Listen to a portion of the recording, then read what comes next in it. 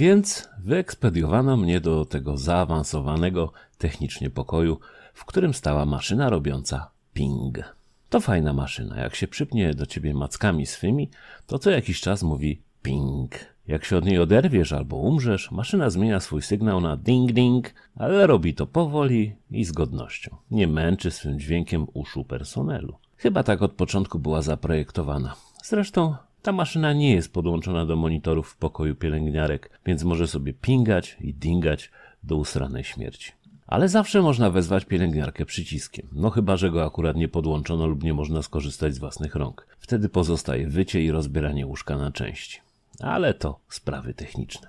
Bo pielęgniarki są fajne i przychodzą, kiedy się dzwoni. Na inne rzeczy nie reagują, ale to chyba już kwestia rutyny. Jak w każdym zawodzie, trzeba się przystosować. W pokoju, gdzie stała maszyna Pink, która objęła mnie swoimi mackami, były dwie panie. Tak, trafiłem na salę z kobitkami, bo tylko tu była wolna Pink maszyna. Obstawiono mnie parawanami, żebym pani nie podglądał, a i żeby one nie czuły się skrępowane. Doktorka chyba widziała moje wyniki krwi i EKG, skoro tak pospiesznie mnie ewakuowano z poprzedniego pokoju. Za oknem deszcz i ciemność. Usypiam. Dzień drugi. Obudziłem się. Nie jest źle. No ale raczej nie sam się obudziłem. Obudzili mnie, dali jakieś zastrzyki, pastylki i pozwolili dalej spać. Ale niedługo. Obudzili ponownie, dali coś do ubrania, co przypominało szlafrok mojej babci i kazali siadać na podstawiony przez sanitariusza wózek. Szlafrok był różowy, sanitariusz Sebastian był jakiś płciowo niekonsekwentny, więc siadałem z pewnym strachem. Nie zdążyłem upomnieć się o toaletę, czułem się kiepsko. Kiedy jechałem korytarzem, brakowało mi w tym wózku takiej małej flagi pirackiej, jakie widuję na samochodach. No ale bałem się wdać w dyskusję z sanitariuszem. W końcu nie wiedziałem, gdzie mnie wiezie. Podobno na badania, ale kto go tam wie. Sebuś dowiózł mnie na izbę przyjęć, gdzie czekał na mnie przewóz do innego pawilonu. Razem z kilkoma innymi pacjentami zawieziono nas jakieś 200-300 metrów dalej i wypakowano. Okazało się, że będę miał robiony tomograf komputerowy klatki piersiowej. Ciekawe, gdzie jest toaleta. Nie zdołałem się zapytać, bo poszedłem na pierwszy ogień. Kazano położyć się na łóżeczku, spokojnie oddychać i nie zsikać się, kiedy zrobi się gorąco. A mogłem jednak pójść do toalety. Łóżeczko wjechało do walca, albo to walec nasunął się na łóżeczko. W każdym razie przed oczami miałem wirujące kręgi i żeby nie zwymiotować zamknąłem oczy. Ale to było jeszcze gorsze, więc zacząłem zerkać na wszystko, co tylko było statyczne i nie wirowało jak karuzela. Oddychać, nie oddychać, oddychać, nie oddychać. I tak kilka razy wykonywałem instrukcję mechanicznego głosu. Na koniec faktycznie zrobiło się gorąco jak na Saharze. Wyjechałem. Łóżko zjechało w dół i kazano mi zejść. Wychodząc, szybko przeliczyłem czas pobytu w tomografie, przemnożyłem przez ilość pacjentów, którzy przyjechali ze mną i stwierdziłem, że dam radę skorzystać z toalety. Tamtejszy sanitariusz wskazał mi drogę. To były naprawdę jedne z najlepszych minut w moim życiu. Pomimo stanu zdrowia poczułem ulgę stulecia. Zadowolony, jeśli można być zadowolonym w moim stanie zdrowia, wróciłem przed gabinet, gdzie musiałem czekać na obsłużenie wszystkich pacjentów i transport z powrotem na oddział. Przy mnie siedział jakiś trzęsący się staruszek. Nic nie mówił, tylko drgał sobie powoli. Co chwilę coś mu spadało na ziemię i co chwilę ktoś mu to podnosił. Staruszek dziękował i wracał do procesu trzęsienia się. Zacząłem mu współczuć i zastanawiać się nad własną starością, kiedy wywołano go po nazwisku do gabinetu. Ledwo wstał i trzęsąc się powoli doczłapał do drzwi. Kiedy zamknęły się za nim, mogłem obserwować tylko światełko, które informowało o włączeniu aparatury i rozpoczęciu procesu walcowania. Choć tomograf sam w sobie niczego nie leczy, to jednak w staruszku musiała się odezwać ułańska fantazja, bo kiedy światełko zgasło, z drzwi usłyszałem: Ale niech pan nie zeskakuje z łóżka! Staruszek jednak zeskoczył. Kiedy otworzyły się drzwi, był już jednak tym samym trzęsącym się staruszkiem, ale w jego oczach widać było, że warto było. Po badaniu wróciłem na salę do swoich pań. Dostałem śniadanie, które postanowiłem zjeść, bo poprzedniego dnia nie mogłem nic przełknąć. Oczywiście podłączono mnie do ping maszyny. Myślałem, że poleżę sobie trochę i poproszę o odłączenie mnie, żeby pójść do toalety. Nie ziściło mi się to. Do pokoju weszła bowiem moja doktorowa i pan ordynator. Najwidoczniej mieli już dane z tomografu, bo natychmiast podłączono mnie do kolejnej maszyny, tym razem ładującej mi dożylnie środek na rozrzedzenie krwi. Jedna porcja na 24 godziny. A toaleta? Ordynator zakazał mi jakiegokolwiek wstawania, chodzenia do łazienki i w ogóle czegokolwiek. Doktorowa przekazała mi wyrok. Masywny zator tętnicy płucnej typu jeździec. Jeździec zawsze kojarzył mi się dość pozytywnie, no ale tym razem był paskudnym, wstrętnym, wrednym jeźdźcem. Doktorowa powiedziała, że jak się zator w płucach przesunie, to pójdę do piachu. Oczywiście powiedziała to z pełnym poszanowaniem zasad informowania pacjenta, że jest jedną nogą nad grobem. Zacząłem na szybko przypominać sobie, co udało mi się ze spłodzenia syna, wybudowania domu i posadzenia drzewa. Doszedłem do wniosku, że nic, więc chyba trzeba żyć dalej. Z tym postanowieniem usnąłem. Śniło mi się, że idę do toalety. Dzień trzeci. Obudziłem się, czyli dobrze. Chyba. Dzień zaczął się jak zwykle. Tabletki, pobranie krwi i zerknięcie na maszynę. Ile to jeszcze godzin do zmiany wkładu? Zacząłem poznawać moje towarzyszki niedoli. Nie pamiętam ich imion. W każdym razie jedna miała 87 lat i na coś chorowała. Ale nie wiem na co. Jakoś nie za bardzo się zwierzała. Karmiła koty, które przychodziły w czasie posiłków na parapet i czekały na jedzenie. Byle czego nie jadły. Przekonałem się o tym, kiedy poczęstowałem jednego z nich kotletem, którego otrzymałem na obiad. Kot obwąchał, parsknął i zeskoczył z parapetu. Znaczyło to, że mamy podobny gust kulinarny.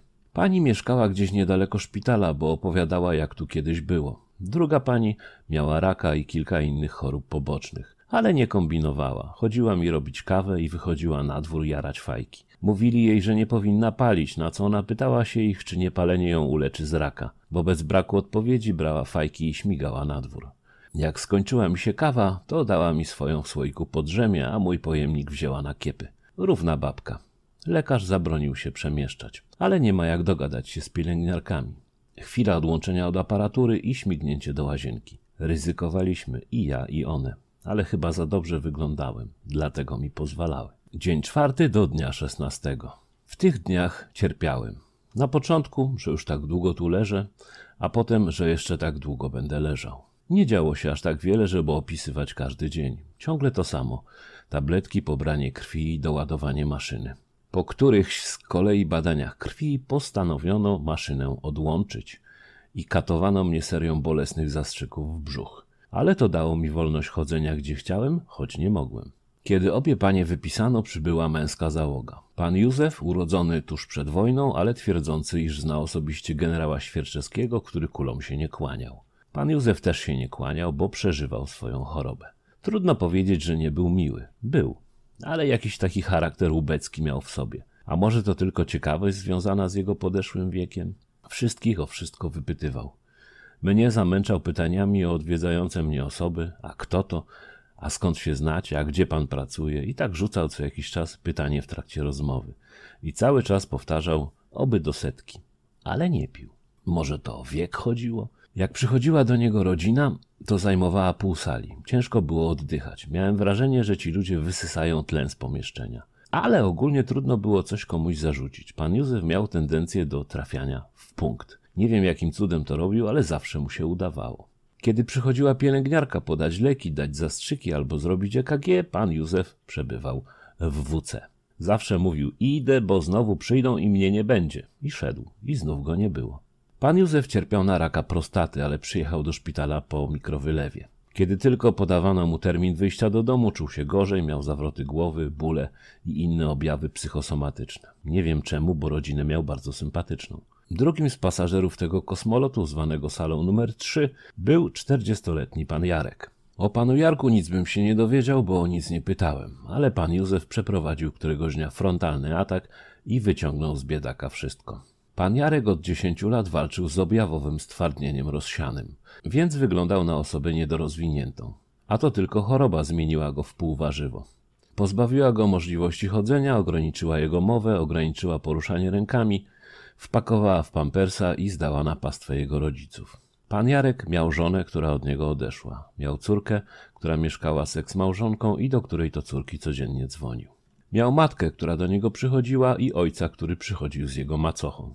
Pokręcone to wszystko. Zanim pan Jarek popadł w niełaskę choroby, był bardzo aktywny. Jeździł po całej Polsce, załatwiał interesy. A teraz leżał pokrzywiony w łóżku, wkurwiając się, że nie może sobie poradzić z wybraniem numeru albo z tym, że telefon wypada mu z niepewnej ręki. Jeszcze na jedno się wkurwiał, że lek, po którym być może nie odczuwałby tyle bólu, kosztuje ponad 2000 zł i nie jest chyba jeszcze dostępny w Polsce. A to dlatego, że jest z marihuany. Przyjechał do szpitala, bo dostał jakiegoś zakażenia od węflonu. Sam w sobie był całkiem do zniesienia. Dużo rozmawiał przez telefon. Obdzwaniał wszystkich znajomych z pobytu rehabilitacyjnego gdzieś tam, gdzieś tam. I dzwonił do swojej dziewczyny. I wtedy robiło mi się przykro. A potem zabrali mi lekarze załogę i wywalili ją do domu. I przywieźli mi dwóch nowych. Najpierw pana Krzyśka, którego skromnie przezwałem Szczurek, oraz pana o nieznanym mi imieniu, który po godzinie leżenia został przeniesiony na inną salę. Wiem tylko, że nie wyglądał na szczęśliwego. Był y, z woli C i miał tupecik. Wydawało mu się, że jest w B. Fakt, z woli C to chyba najbliższy szpital. Ale mi go zabrali i zostawili szczurka. Szczurek pomylił szpitale. Serio, pomylił szpital z serialu o szpitalach z rzeczywistością. Szczurek był chory na białaczkę. Jakiś cwaniak ze szpitala imienia K powiedział mu, że jakby coś się działo, to może się udać do najbliższego szpitala i to bez skierowania. Taki przepis NFZ-u. No to się udał. Cud, że go przyjęto. Miał do przetoczenia płytki krwi. Coś koło 2,5 tysiąca złotych taki zabieg. Szczurek pomyślał, że mu tutaj to zrobią i na następny dzień pójdzie do domu. I tu się nadział na system. A system szczurkom nie daje szans. Choć lubi się ze szczurkami pobawić w kotka i szczurka. Z jednodniowego jego pobyt przedłużył się do tygodnia czasu. W tym czasie szczurek stracił zaufanie do NFZ-u i zasięg w telefonie.